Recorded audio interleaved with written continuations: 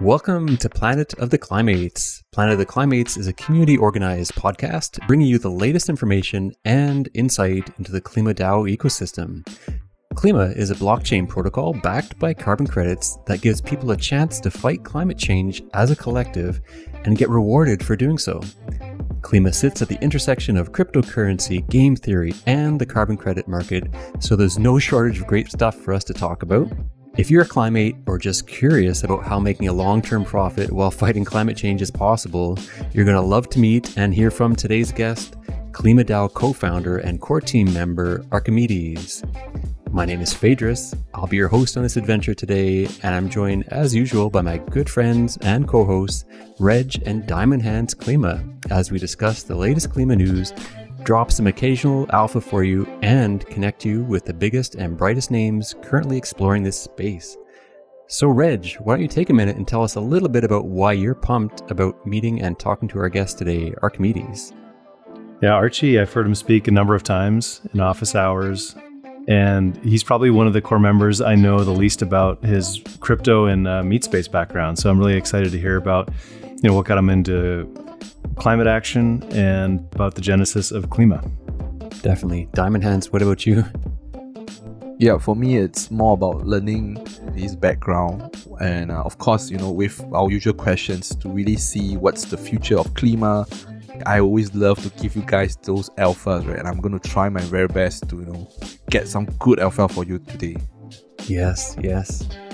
Well, for myself, I think it's again mostly just a chance to you know meet and learn more about uh, Archie himself and uh, you know the background, the backstory of Klima, and also learn a little bit about uh, you know what's going on under the hood, behind the scenes, within the DAO, with the core team too. As um, yeah, we're just past our you know two months and coming up on three months now in operation as Klima here. So really, really excited to meet Archie and hear more from him. But yeah, I think that's, you know, enough from us. Why don't we just, uh, you know, just jump right into it here?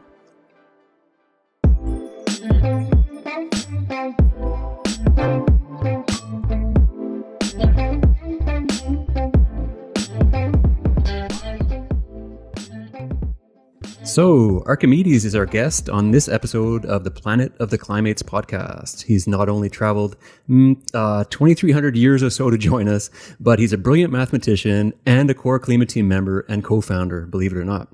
Well, the math checks out, but we've yet to confirm whether the Karen hair in his profile photo is real.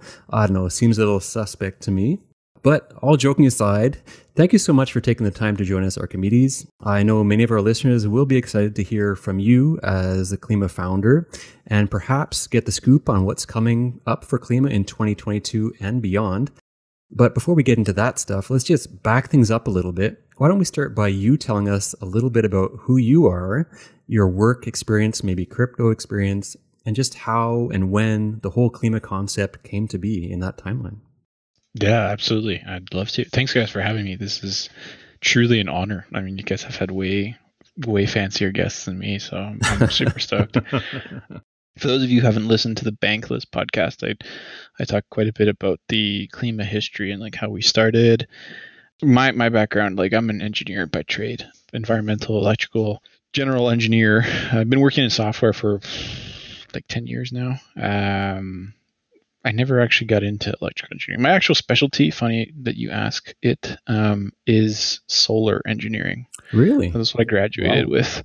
Okay. Um, I know a lot about solar panels, like way too much. Like how they work, efficiencies, like it's all memorized, like what the sunniest place on earth is. Wow. All that stuff. totally cool. useless cool. when it comes to crypto. so how I got into crypto, basically my coworker and I, when I was working uh, I guess part of my dark history is I used to work in oil and gas. We uh, we came across Ethereum mining and we are like, oh, this is cool. And like, we were also in charge of our IT at that that company too. So we are like, okay, we have access to servers.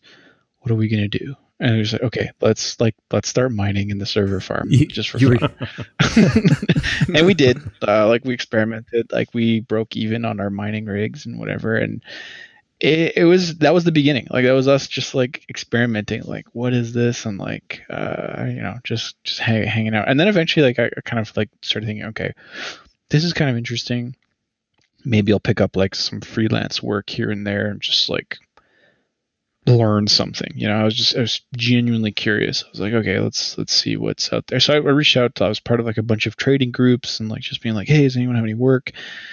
And so I ended up doing a bunch of weird odd jobs for years. I worked, I developed prototypes for some of the earliest Cosmos inventions, uh, like crazy uh, privacy preserving things, like you know, just just a bunch of weird stuff in 2017, 2018 that like all like ICO idea ready, nothing with like actual products, and like a lot of it flopped. Like probably I'd say 99% of it flopped. There was like one one project here and there that like kind of had some customers and like a little bit of traction, but they never went anywhere. And so then the years go by, and like I started working more and more on like different ideas. Um, I spent a lot of time just doing research and like most of the time, like crypto has always been like a side seat for me. Like it's kind of weird. Like I, I work my day job doing a whole bunch of other stuff, which oddly enough, I ended up converting the entire office into like a crypto people. Like we built a whole crypto strategy and, and built some really cool stuff with it. Um, it's always been that way. It's always been like I've always been just kind of tinkering and engineering and like if you look at my office, uh, I wish I could show you guys. I've got 3D printers in here, soldering iron, like true like engineer workshop. Like like it's that's just how it is. Like hand me anything, I'll take it apart and figure out something with it. I, I, you know, it, it's always it's always fun. Um, and so and so yeah, so crypto's always been like that to me too. It's like I've always like been like okay, like my in my engineering background, my dream's always been to build something environmentally cool, like something but like you know not like you know oh, we're gonna save the planet kind of stuff. Like i mean like you know a true solution that actually like delivers some sort of serious change in in terms of of that. We'll get to KlimaDAO and how that started in a second. But uh, you know tinkered with all sorts of wacky ideas and you know we over the years i kind of just you know learned a lot about the industry how things evolved i did a lot of work for all sorts of stuff. I ended up running like a, a consulting firm where we wrote contracts, we audited contracts, um, we did a bunch of other things that that basically just you know helped you know experiment with different things. Like we worked with some some governments on like some travel stuff like before COVID. This was all before COVID, and yeah, it's just and that's you know it's always been something I've been tinkering with and, and figuring out. And so then you know this year back in March there's a bunch of other like climate folks. Basically, like the whole climate founding, Klima founding team are all the same climate folks that I know. That we've been kind of all tinkering about an idea, thinking about something for almost a year. Like just all of us sitting on meetings randomly, just like, hey, you guys want to like hang out and like talk about stuff, and we sat around for like a year. Like we didn't really come up with anything concrete. Like everyone just kind of like worked on their own thing for a little bit. So, did you know something about carbon markets going in, or was it through the other people? Yeah, so I was I was experimenting a lot with that kind of stuff too, like uh, just just doing.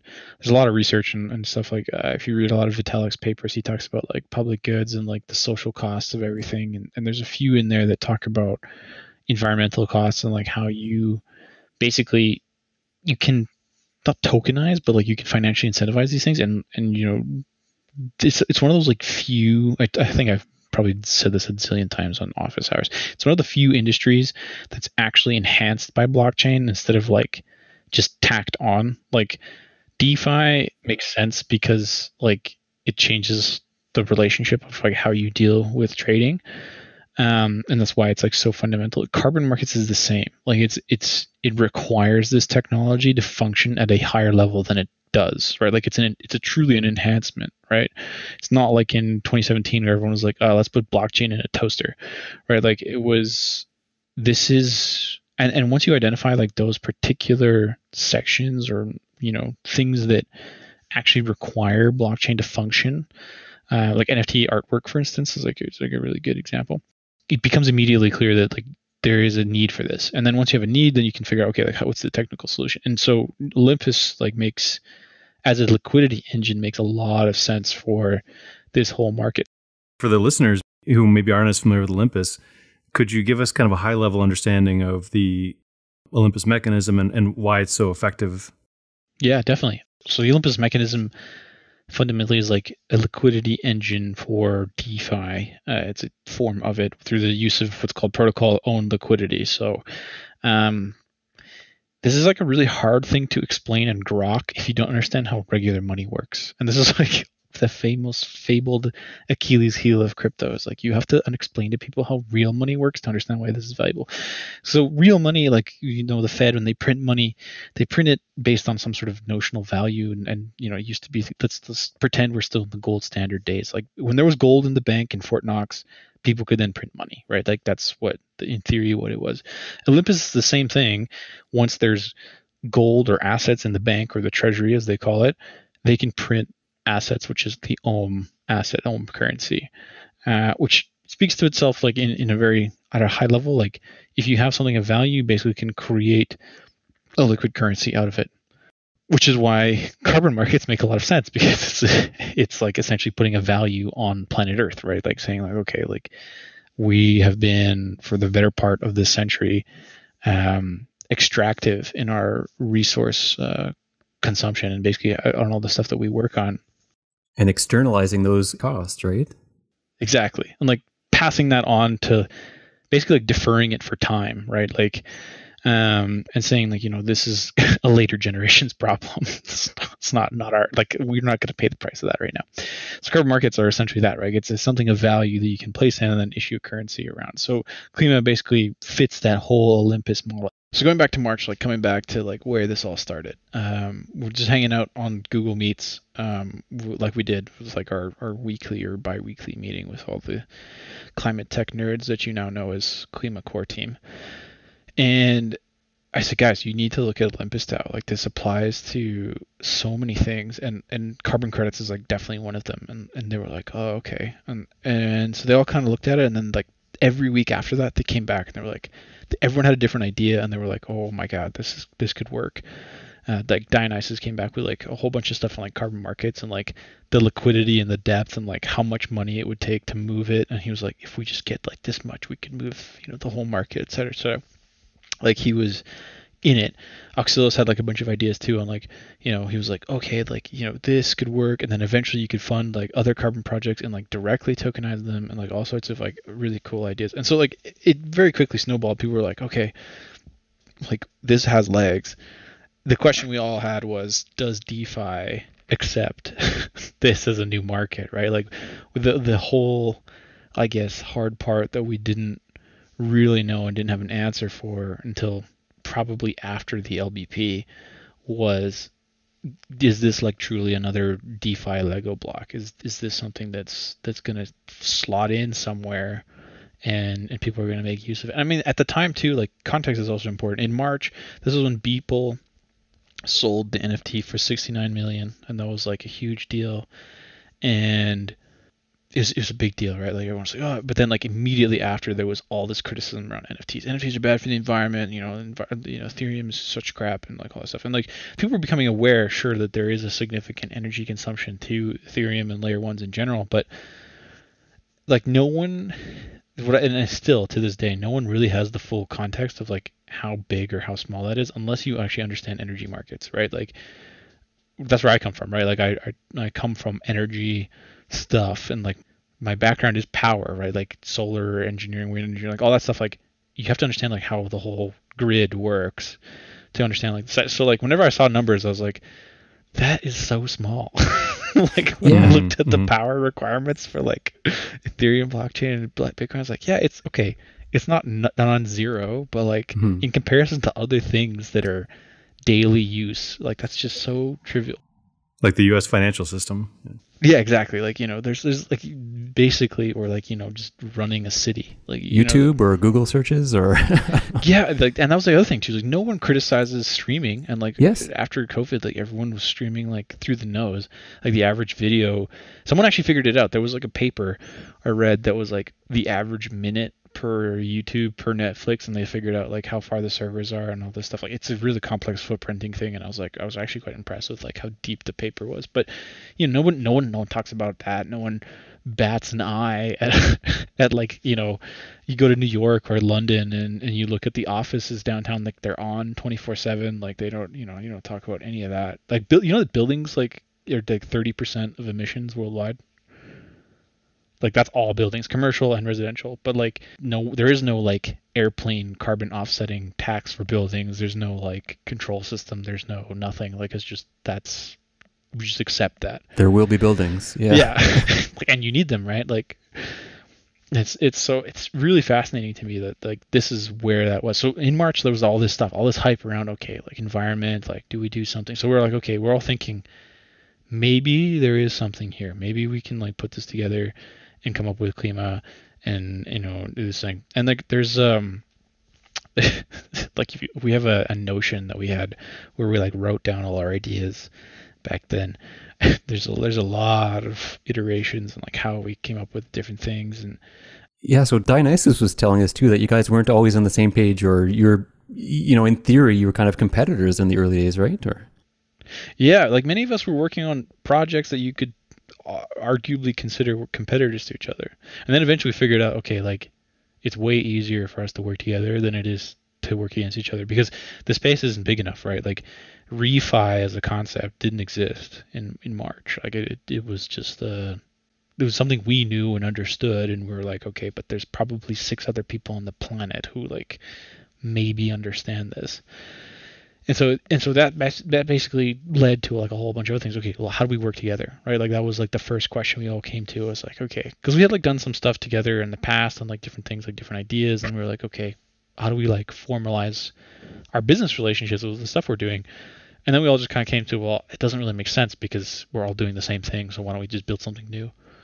And that's and that's kind of like where the whole concept evolved. And we were, you know, thinking about it from day one. It's always been like a collaborative effort. Like it's never been one single person saying that they like invented it or anything. Like we just, we, like we were very much as engineers do, like as you know, describing my office, like you take a piece from here, take a piece from there, you like you know merge this with that, and like we, you eventually come up with this Frankenstein of a, of a solution that is Klima and, and Toucan and all that stuff now that you look at and you're like, okay, like this is like you know things that we can work on. Oh, that's so exciting then. Was was the uh, the governance model was the DAO model always kind of at the heart of it too, or when did that come into play? Yeah, I mean, governance is such a tricky one. I've worked in all sorts of different startups and companies and organizational structures, and it's always hard having democratized governance. Like it's almost like there has to be a specific point in which it makes sense. Until that point, it doesn't, right? And you know you could look at olympus as a fantastic model of decentralization but then like it suffers from speed right like you there's like sometimes like some hangups and you know communication is lost sometimes and whatever and then you look at time which is just run by one dude um, and makes all the decisions for everyone like there's like a happy medium in between there that like is you make and make choices that lead you to the route of decentralization for us, like you know, looking looking at what we were doing, I think it always made sense for the DAO to be like a self-governed thing. It's just the question we always had was, at what point can we hand it over? Because like you know, coming back to the early discussion, like if there's only like 12 people on Earth who understand like how this whole thing grokks, like when can we really hand this over to someone else? And it, it came surprisingly fast. Like I I truly look at some of the DAO contributors today, and I was like I'm blown away, truly. Like people who knew nothing about carbon markets or anything about like any of this stuff are all of a sudden experts. Like my my golden shining example is always Marcus, Marcus Aurelius in the Discord. He like he came from nowhere, like just out of nowhere. One one day decided to be active in the Discord, moderating, telling people, answering questions, and then like very quickly, him and Chaz like were operating the whole thing, creating a mod team, all this stuff. And you know, a few weeks ago, he goes on this UN talk where he talks about KlimaDAO and like how it works. And I listened to it for like the whole hour. I was like, my God, this guy is like, he sounds like he invented everything. Like he he knows inside and out. And it's blown blown me away. And like the same is true of like all the contributors that are in there. Like I, I, was told, you know, the there's like a lot of people in ops and partnerships and people working on different things. I mean, this is a really good example too. Like I was listening to the podcasts, like the previous one, Joseph Pallant and like a few others, and it's like grade A production. So like across the board, a lot of people really grokked it. They really understand it. They it's it's gone from you know me thinking, okay, no one's really gonna get this to wow, so many people understand this. Like, it's it's really awesome to see. It's like there's a lot of pent up demand for a solution like this to come through. Yeah.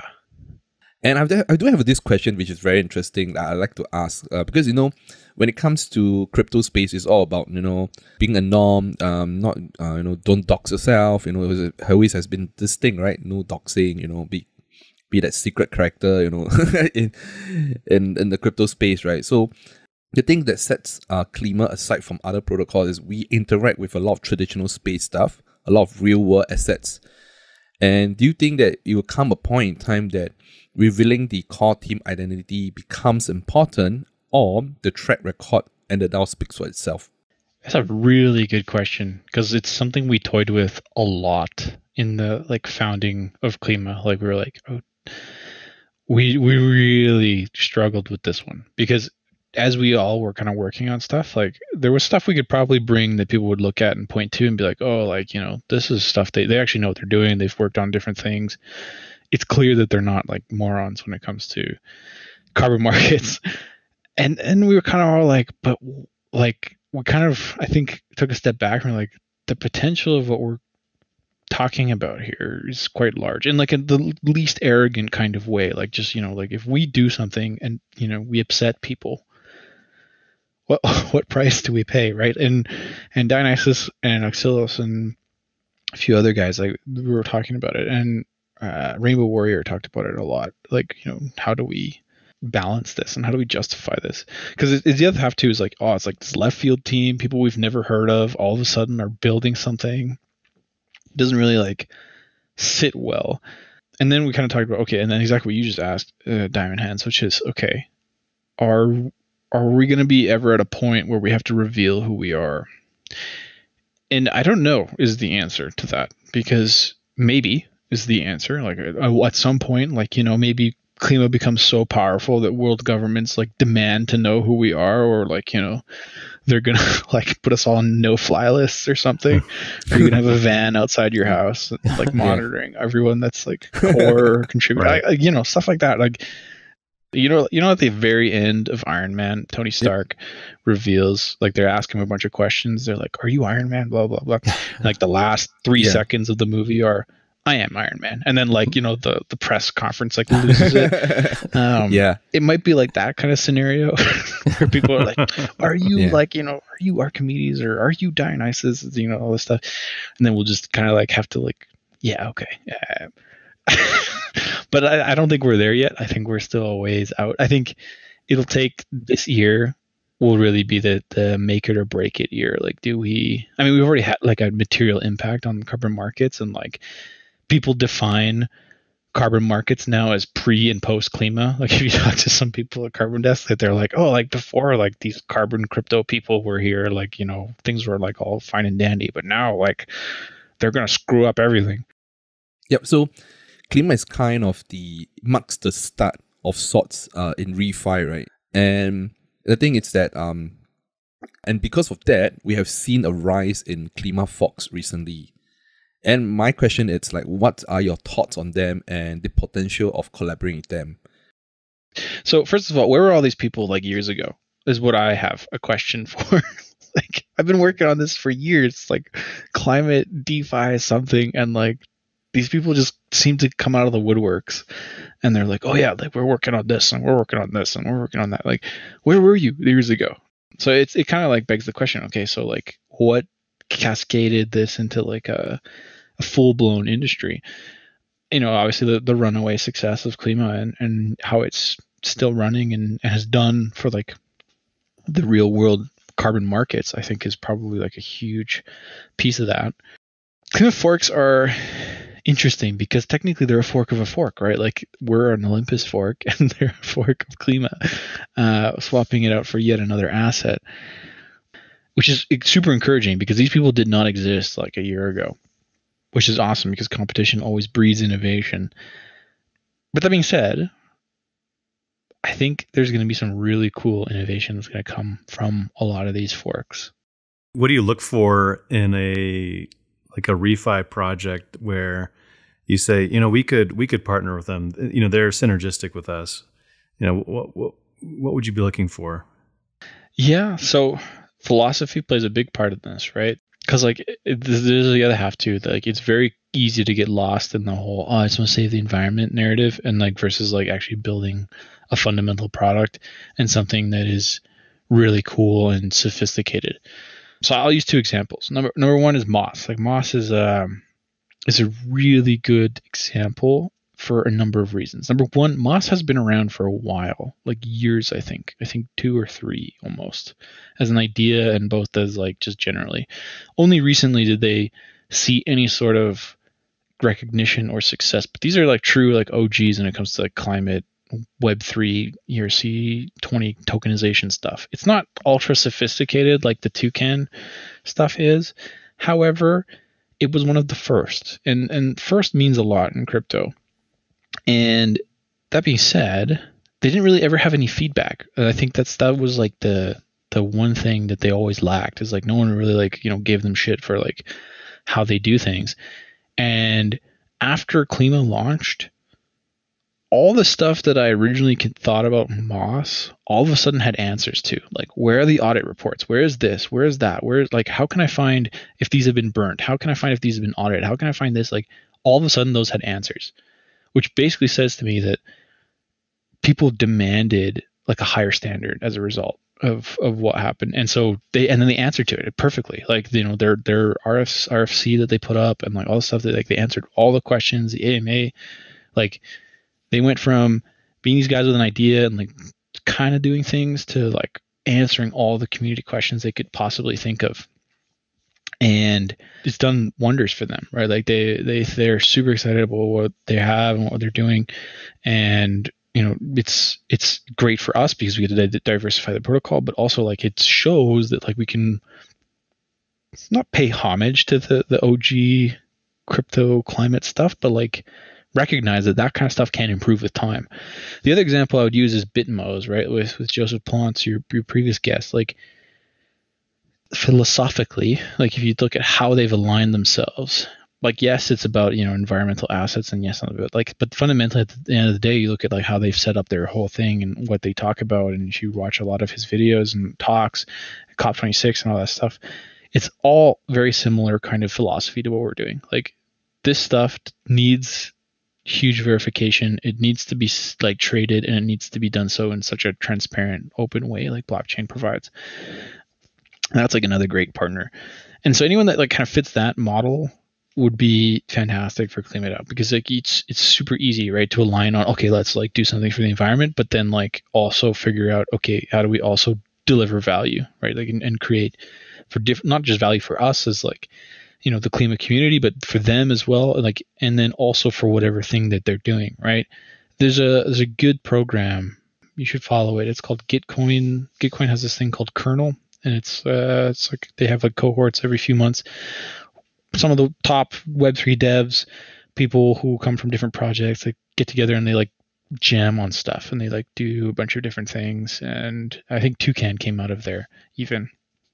And in there, they talk about one specific thing that is, is really important to the whole Web3 space. It's called win win win scenarios, where basically you have an outcome that benefits all participants. And once you have that, it's very clear as to why this is. The second you have a win win lose scenario where there's one participant in the ecosystem who like basically fails or is taken advantage of or simply just you know has a cost associated with their participation, it doesn't result in something good and so in Klima's position, like that's how I view all the stuff that's coming out. Is, it, is it this a win-win-win scenario? Is there like an outcome that benefits us, the person that we're working with, and then whatever they're doing?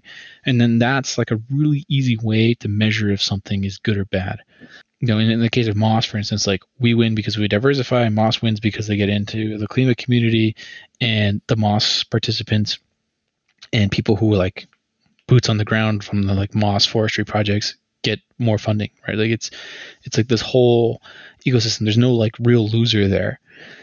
Yeah, and I think as we're recording this, the Moss KIP, I believe that's just past snapshot now, and we do have a fresh proposal that's hit the forum to integrate Flowcarbon, perhaps as well too. So could you just maybe dwell a little bit more on you know what this diversification means for the protocol and uh, you know what could be next around the corner. Yes. So it is passed, and so like Moss bonds will be going ahead, which means I'll have to deploy them shortly after this. Um, but no, it's it's it's good for so many reasons, right? Like this is something we always talked about, like at the if going back to March, like you know, we always viewed whatever carbon ton um, token that we ended up coming up with was just like one of many, right? Like the first one we would create, obviously, because we have no choice. Like we have to like incentivize it somehow and create this whole system. But after that, we always envisioned it that there would be others, people who would come up with their own systems, or they would tokenize something else, or they would, you know, create some sort of new way of environmental something, and then we would tokenize it and then buy it, and then the Klima would become this like environmental hub almost of, of everything that's coming through the refi space. And Moss is the first, right? Like it's it's is the first of many is to come and like they were here first and like they've been around forever but like now we have this win-win-win scenario with them where like we can offer like a, a yield generating asset on their otherwise single use asset and it's, it's fascinating because like it's people are so excited about it. like I don't know if you guys were on the last office hours. I think it was like before the holidays or some or maybe it was last week, the week before. I think it was I think it was before the end of the new year. There was a guy who came on and he talked about how he was a Moss investor and he bought it on Coinbase and he came to KlimaDAO because he heard about it somehow and he had no idea how to use SushiSwap. And he was like, this is so cool. I, I thought this was like, and like he, he had all these questions about like how this could work and all that stuff. And, you know, that was just like the tip of the iceberg. But what was super key to me was this guy took the time to like learn about another community that was coming with it. And it was, it was so cool to see. So Moss is the first of many. Like, you know, Toucan was the first, and they're going to be putting out their own token, the second version, which is the higher quality forestry nature based one, NBCT. Moss is essentially like an early version of NBCT. Flowcarbon, the one, if you read the proposal, like they're doing very similar things, like, you know, higher quality stuff. So it's all going to command different values and different premiums, and it's all going to come into the treasury, and it's all going to be super cool stuff. It's the first of many, right? And like, Carbon is, I think, the first market that could be tackled for this because we actually have a way to price it. But like in the future, if we come up with other environmental assets, like biodiversity credits is like a field of academic study that no one, absolutely no one can put a price on. It's it's so hard to be like, okay, like if we preserve this one acre of land, it's you know saves five orangutans. How much does that cost? E- ecosystem like, services, right? That's uh, yeah. yeah it's super hard, right? But like it's kind of sometimes baked into carbon tons and especially VCUs. So like VCUs sometimes get extra certifications.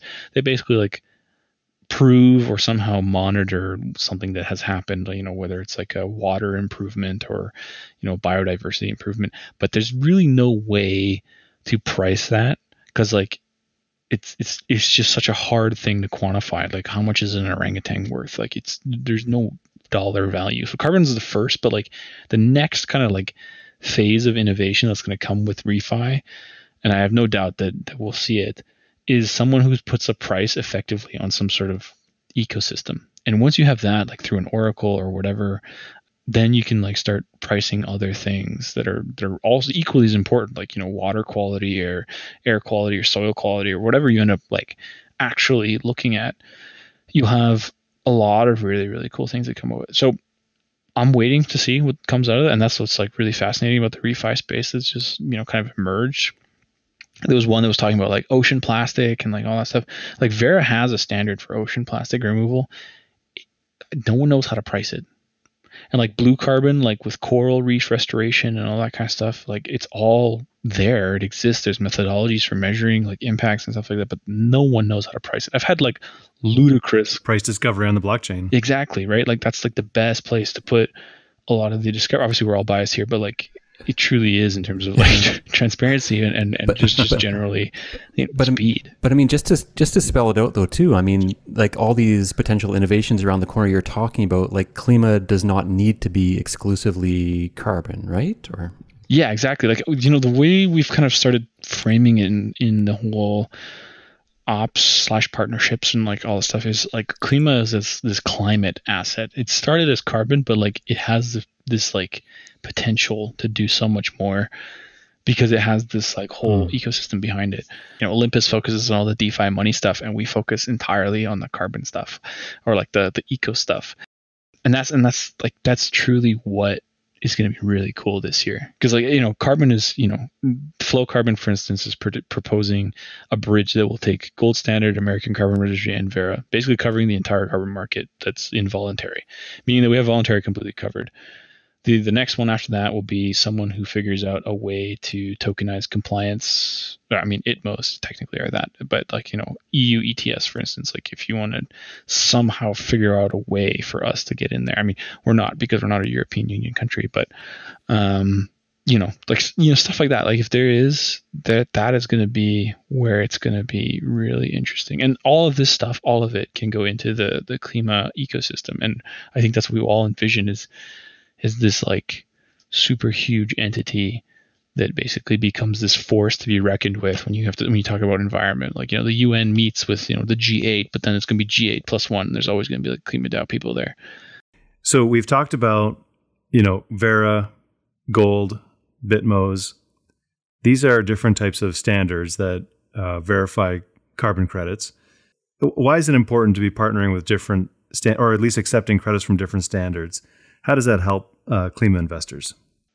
Yeah, diversification is always like really important, especially when it comes to any sort of basket of assets. And so Klima itself, like to become a more resilient protocol requires this very much like how Olympus, like they started just with DAI bonds, right? And then they moved on to Frax. There is definitely something to be said about, about how that strategy played out for them. Like it looks like it's it's you know they own most of the Frax supply, I believe, at some point. UST, I think they owned all of it at, at some other ridiculous time.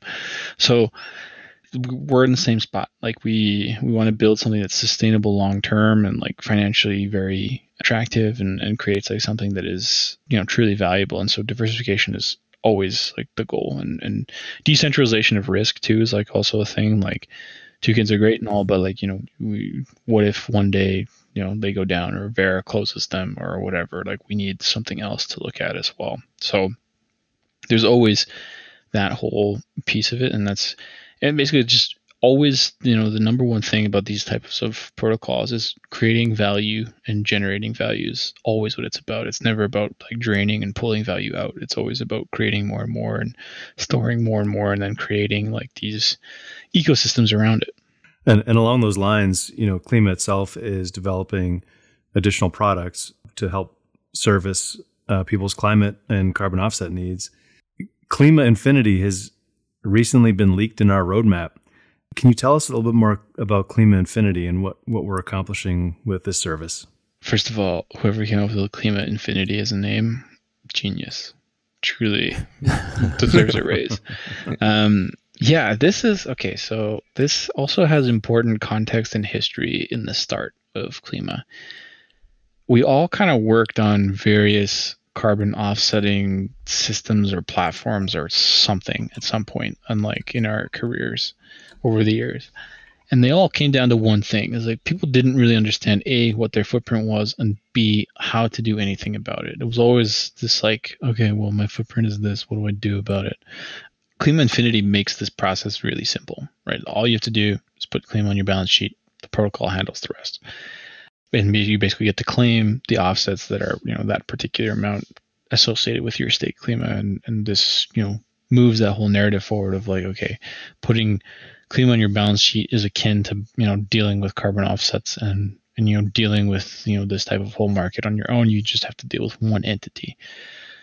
It's, uh, it's going to be a hard one to like sell for sure. Like people are organizations looking to offset, like that's already a very hard thing for them. Like it's it's already like, oh well, where do I get offsets from? Who do I buy them from? And like there's a lot of like scammy middlemen, and there's like a zillion retailers who will sell you an offset that's worth a dollar for fifteen, and do all sorts of stuff like that. And so what it comes down to is like like any business is you know who you know and how you know them and, and that plays like a big part in whether or not you're retailing success but also just generally like if you actually know how to sell, right? Like this is this is purely a a commodity that you're selling to someone. And you have to convince the person that you're selling it to that they need it. So either they've come up with their own like internal mandate on like you know social responsibility or like with their CSR statements, or they you know just generally want to do something. It's like becoming increasingly common in small businesses. Is what I've noticed. Small businesses like somehow take up this whole like oh yeah like we'll do something for the environment and like they'll just like offset or they'll buy this or they'll do that and then like you know big corporates have this hard time understanding why you would do that so then there's also there's also the other half too which is many big large organizations that deal in petrochemicals or deal in fossil fuels particularly or energy they have these mandates they know that this exists and some of them are legally mandated in whatever jurisdiction they're operating in to do something about it so they have to purchase offsets by law or they have to reduce their footprint or something.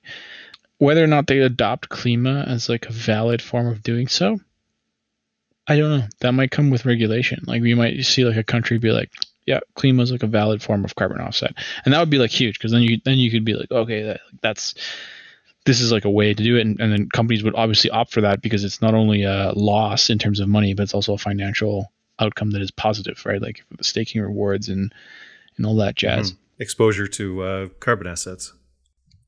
Yeah, exactly. And then like, you don't have to deal with the faff of like getting offsets from people. And like, I don't know if you guys have ever dealt with brokers, but it's it's like dealing with used car salesmen. like, it's just it's just the worst. like, there as a common nickname I get sometimes is used carbon salesman. um, it, it's it's funny. It's really funny because it's true. Like the the analogy is exceptionally true. Yeah, no, that is it's very exciting about Klima Infinity, and you know, kind of uh, taking some of the friction out of that experience, I guess, and making things easier. We do have a series of little, you know, potentially more challenging questions here for you two around the corner. First one up is me. I'll ask a question a little bit about, you know, BCT and burning BCT. I know it's definitely, you know, in the community been a little bit of a question of, uh, like, okay, the BCT is coming on chain uh, it's in the treasury. Is it really gone? Is it really off the market forever? Even Treasury BCT, you know, in theory, could automatically be used to, you know, buy back Klima in that case of a, uh, a bank run. Um, and, you know, if that hits the market again, what does that do to the market? Um, so, what are your thoughts around, you know, BCT burning and really locking away carbon for good? Yeah, I mean, this is something, again, coming from the very humble beginnings of Klima is like we always wanted that piece in there. The, the there's like one part of that equation that's very hard and we'll get to why.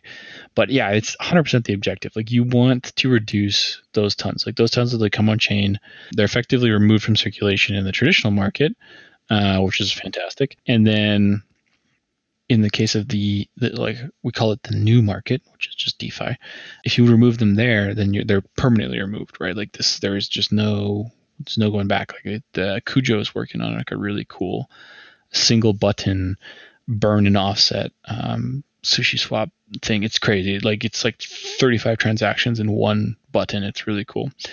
Uh, and and it's 100% the goal. Like that's always there's only one small problem with it is it requires adoption of the off-chain world. So people burn or burn or offset in industrious quantities in various energy markets. But they don't do it with BCT. They do it with, you know, they go to Verra directly, they offset however many tons they have purchased, and that's the end of the story. There is no burning of BCT that they're going to do.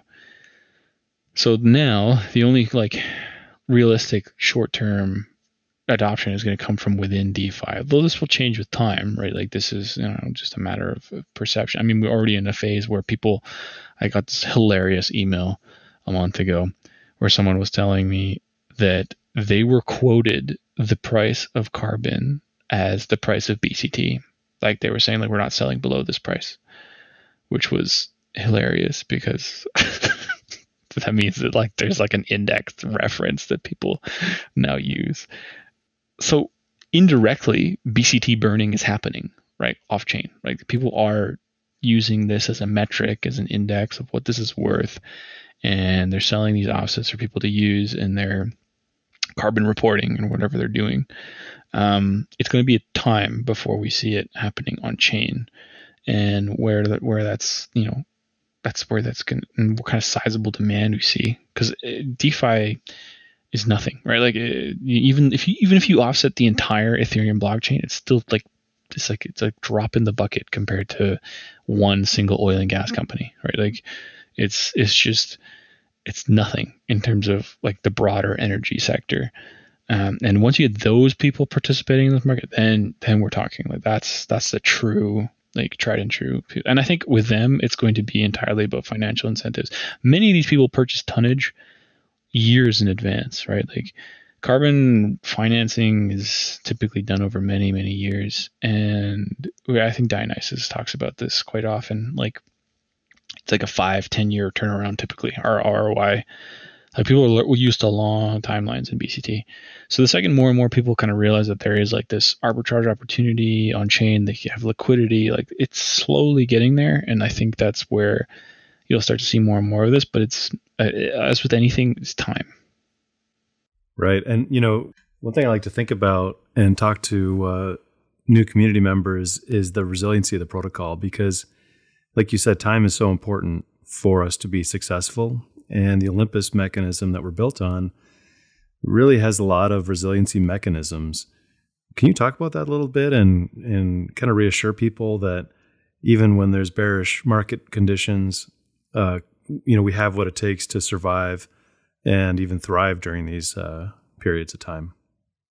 Yeah, definitely. I mean, you mean like resiliency and like how the actual protocol operates, or you mean like how cool everybody is here? That that definitely. But uh, no, like you know, when you invest in high risk assets like tech startups, um, startups of any type, there's a risk of failure, right? You're going to lose all your money. It's going to go bankrupt speaking from experience, personal experience. But uh, but um, in these protocols, there's a lot of resiliency built in that doesn't allow it necessarily to fail. Like if there's no malfeasance on the operators, uh, they're very hardy, right? You've got protocol owned liquidity.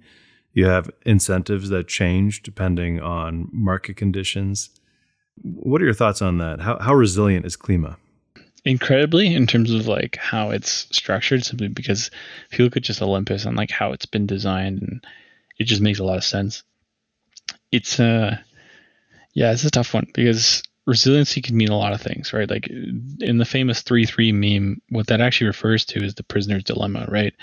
In which case, two prisoners have to like, for those of you unfamiliar and listening, like two prisoners have to have the choice to either work together or basically defect and expose the other prisoner and then that person goes to jail and they don't and that's the the whole like negative 3 3 and 3 3 kind of operation klima has this like natural coordination mechanism it's really weird uh, it's something i've never seen where people just just by hearing about what it is and like at a very high level they're like oh yeah i could get behind that like without understanding pretty much anything about what's going on they're like oh yeah these guys like they're doing something for the environment. I could I could you know do something with that.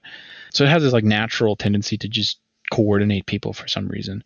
Combine that with like you know strong financial incentives, which are coming with you know the Olympus mechanics. I mean, it's hugely resilient, and basically the, there's a lot of people in there that have invested so much time in like educating others, working to like work out problems with people. How do we you know educate new users and all this stuff? so it's it's something that I've I've really come to appreciate over the last few months, like really watching how this has evolved. It's it's a staggering, b fascinating, and c like just genuinely like a, a very wholesome experience. Like there's there's very little.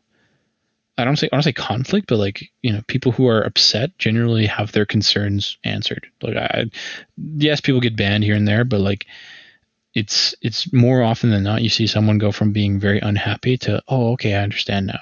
Like it's it's um that I think is is like super powerful. And that's like that's just community. Like it was just you know kudos to you guys like running this podcast is it's part of that. Like that is the single most important thing. No no engineering can solve no no fancy whizzy ui like it is the people. And the people investing in people pays dividends like you wouldn't believe.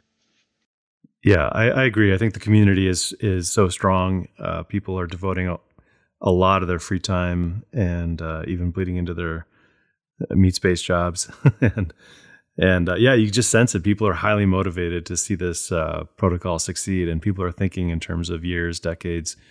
So I, I'm in agreement with you there.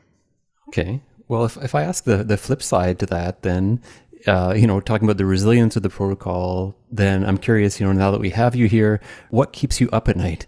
We, we, we've seen like a lot going on in terms of, you know, some different hearings and regulation stuff in the US, for example. What, what has you worried or what's kind of like in your mind the biggest threat to that resilience? Hmm. I don't know if anything really keeps me up at night in terms of like what could go wrong here. I think anything that could have gone wrong probably would have by now. Uh, like hacks or just something bad. Um, you know, our, our, launch was pretty spotty. I mean, that's that was like, it, everything bad that could have happened happened, and we got over it, and things moved on. But in terms of like regulation that's coming, I don't know. The it's it's this is a tough one because DeFi regulation is like super not okay, right? Like the, the stuff that's happening in the states, for instance, like they've got it totally backwards when it comes to how to regulate DeFi, and they really don't understand the future, and, and they're painting themselves into a corner there. Like that's it's not good. The flip side, though, carbon and environmental regulation could not be better. Like it is just getting stronger. There's more and more mandates for people to do things, and, and you know people are seeing very much like the action coming from their governments, local, municipal, provincial, federal, state, like they they see all those are finally coming into place, and you're finally starting to see okay, like there is actual thinking going into how to regulate this stuff. Because that's the other thing too is like environmental concerns have been around for a while, right, since the Kyoto Protocol, but no one's actually figured out meaningful ways for actually incentivizing people to do better. Like you know, just, just you know, they're just like stop polluting, and that that was that's the end of the discussion. There isn't really like a okay, but here's like all these like fun and then over the last like maybe 10, 15 years, we started to see finally regulation catch up to a point where it actually makes sense. You know, incentivizing purchase of electric vehicles or decarbonizing grids or, you know, in- incentivizing different energy type structures or like subsidizing your sol- solar on your house. Like all those types of things have uh, not only paid off, but they've finally starting to see uptake. Like I remember when solar panels on your roof was like a niche thing for like you know hippie bum nerds who like like just wanted to do something but like it was just so expensive so like out of the ball like crazy when it comes to like actually installing. And then now all of a sudden it's like well how come you don't have them on your roof right? Like what's what's stopping you essentially? And so that's so there's like this we sit in this weird like middle ground where defi regulation could not be worse and it's bad. Like there's there's very little like clarity there. And then you look at carbon climate regulation, which is getting clearer by the day. Like you have the COP26 this year was a huge success simply for the reason that people actually agreed on selling ITMOs, right? Like international trading of carbon is a fundamental piece of this whole thing. Being able to actually work together at that scale is going to go miles. So I don't know uh, if it keeps me up at night. What I worry is that like you know someone's going to point and blame us for for for something like, oh well, you raised the price of carbon like three times in three months. That's ridiculous. Um, I don't know. Like there's. It's, it's I, I do worry about like it, well we're trying to I mean that's what we're trying yeah, to do that's right? the goal that's the point um it's it's uh it's it's hard I don't know where because I don't know which camp we sit in, right? Like, do we sit in the DeFi with the DeFi people and have to worry about all these DeFi regulations, or are we going to be exempt because we're after the carbon markets and, and climate change? I don't know. Uh, it's um, yeah, I think rebranding to Refi is um is a good move. Yeah, I think so. M- meaning that group is uh, a good distinction. We're exempt from all the bad bad stuff that's going to happen to DeFi. Yep. So this is the part where most of the listeners look out for. And I'm going to go straight for the kill. so we are asking for alpha right now. So, you know, is there any great alphas that's coming soon other than the ones we know, which is Moss, which is Flow?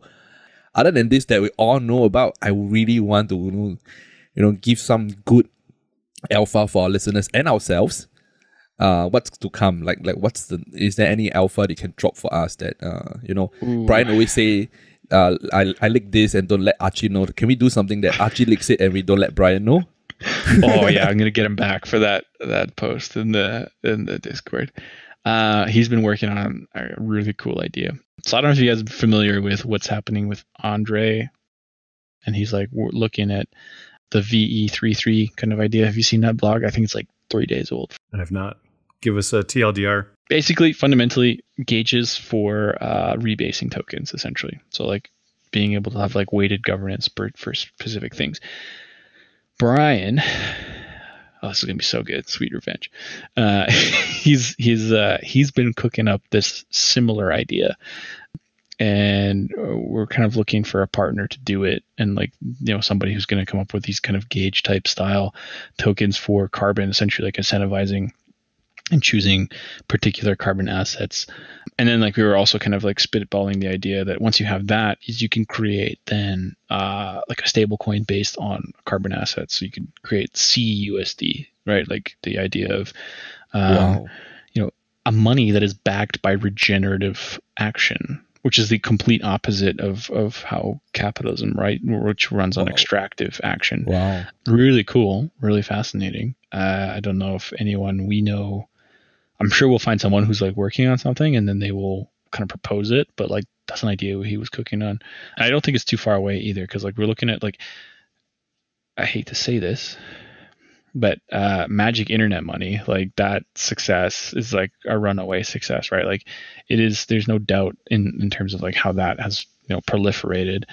But essentially that like that idea, and then you basically move that into carbon. I think that's really cool. I think there's also. Uh, know if I can leak this one. It's okay. We, we will just take everything you leak. I think someone else is working on the other piece of this, right? So you have CUSD, which is like the synthetic, you know, token that exists on chain, and then the other piece is somebody's working on creating like a bank essentially that allows you to store and flip USDC USD for uh, Klima or, or whatever collateral you end up choosing. Um, and that's like going to be a full banking card and a banking system so you can have like S Klima like in your savings and then Klima in your checking essentially. And that's going to be just like a, a standard MasterCard Visa card. Um, like, I don't know if you're familiar with like WireX or like the Binance card, something like that. I mean, but I don't know how close that is because like you need like a license for that and that's going to be a while. But I know that someone like they they approached us about. They're like, okay, we're going to work on this and we'll let you know when it's ready. And I was like, okay. yes, that would be awesome chills, man, chills. Really, really. I, I, I literally got the chills right now. Like just hearing all this alpha, man. Like I, ex- I just expected like like a really short like a uh, 30 seconds oh you're gonna do this like that's it like but it, i didn't expect you to go all the way like that's not one but like two different alphas that we are looking in down the road yeah there's a lot of people man i mean honestly with the way how like like you know time in crypto works it might not even it might be in a matter of months, man. Like like that's what I always feel, right? Like like every other day, I just feel like it's it's just a day. It felt like a week, you know, like just me working, you know, like like me contributing in the DAO and you know helping out here and there. You know, like it's really crazy the the way how time flies in crypto world. And I mean, based on what I hear, you what you have said. I think the only other than the regulatory things that you know like licensing that will take a while, but I think everything else would just fly off in the speed of light. I think in the next two to three months we'll be seeing something, some form of like formation happening, and wow, really really appreciate the the alpha drops, man. Yeah, that's really sweet. so so I'm going to ask the impossible question then. If you know Diamond Hands is just talking about how quickly things move and you know what's going to happen in a few weeks and a few months. Uh, next question for you is to kind of cast your eyes a little bit further down the road. And our favorite question here is what do you see in 20 tree tree what's the vision for 2033 and what do you imagine the impact that uh, klima will have had at that point? point and where will klima fit into the picture of uh, climate action? I think about this a lot. If you it's coming back to the previous question what keeps me up at night? It's this this question what is going to happen in the future because it's like it's, it's very easy to piece together what's happening now what's going to happen in the near future but the long future is kind of always the the hard one. I don't know. Um, I don't have a good answer as to what I think is going to happen. What I want to happen is probably one thing. Like I, I would say, like like working with Sven on his piece was awesome because like I, I got a like artistic insight into like how activists view you know the the climate crisis as they call it. And it really opened my eyes to like how how much of an impact this all really could have. And so you'll never see me at like an extinction rebellion rally. You'll never see me protesting ever. Like i've never done any of that in my life. Like i've never gone to like a climate change rally nothing right? Like for me it's always been doing actions speak louder than words right? Like you can yell all you want but if you don't do something you're not gonna you're not gonna get anywhere.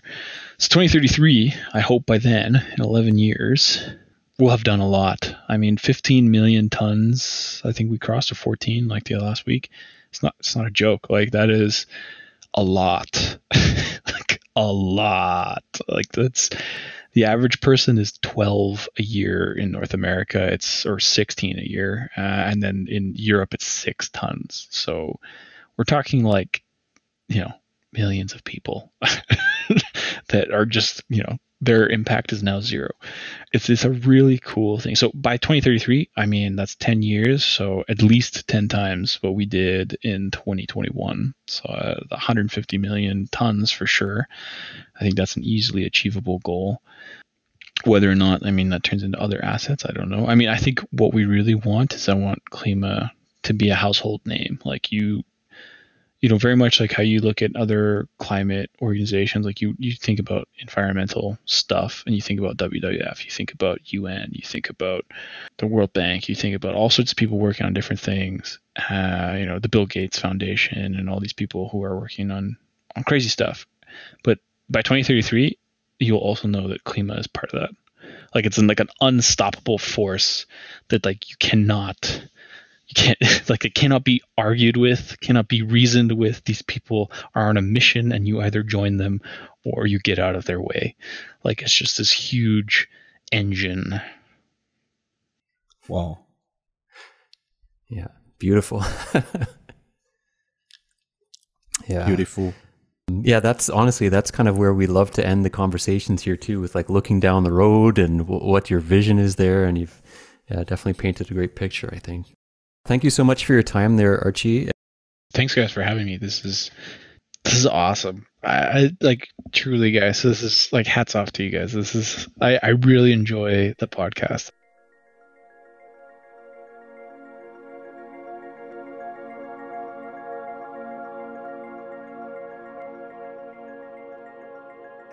Wow, so what a great conversation. It was great to meet Archimedes and learn more about the man behind the dead mathematician and the Karen hair. I don't know about you two, but I was really impressed and inspired when I just heard that story about, you know, diversifying Klima's treasury and that long-term vision that, you know, Klima is not just about carbon. There's a bigger picture that we want to inspire and be able to, you know, finance and drive climate action on climate change, and um, in particular that conversation part about you know ecosystem services and diversifying into protecting ecosystems through climate as well too. Um, I think you know we all think about the spaces and the creatures and the places that are at risk with climate change, and it's great to imagine Klima having a real positive, tangible impact in a positive way on those places. So yeah, how about you for key takeaways, Reg? What were your thoughts on that conversation? Yeah, it was great. It was great hearing about Klima Infinity and hearing about how we are, you know, building out our services to attract uh, big organizations, how allowing them to um, track their footprint, track their offsets using Klima, and um, and also I don't know how much of this was recorded or not, but there are quite a few celebrities in, interested, so that got us pretty excited as well. Oh yeah, no doubt. Diamond Hands, did you get that alpha you were looking for? What did you think of that conversation? Oh yeah, for sure, man. For sure, without doubt, man. Like you guys know that I want, I, I'm gonna get those alpha for you guys, right? And I didn't expect him to drop so much alpha. It was really crazy. Like, like I literally got the chills when he was just like sharing those alphas with us. Like, what's the vision he has for Klima? And I like that this particular one thing that I really like, uh, which is this win-win-win situation where he always mm. look at how certain things we can actually create a triple win situation that no one no one loses in this kind of arrangement, and that's how Klima is all about. And that's really amazing. And um, you guys would know, right? I am so stoked right now that I, I, am really lost for words. Like, this is one of the best episodes I, I have by far. Yeah, no doubt. After that conversation with Archimedes, I think definitely getting the feels going that 2022 is going to be a big year for Klima.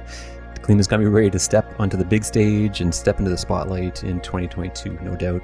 Yeah, so for everything Klima, make sure you're hitting up KlimaDAO.finance, where you can stake bond and perhaps most importantly, find that link to the Klima Discord community.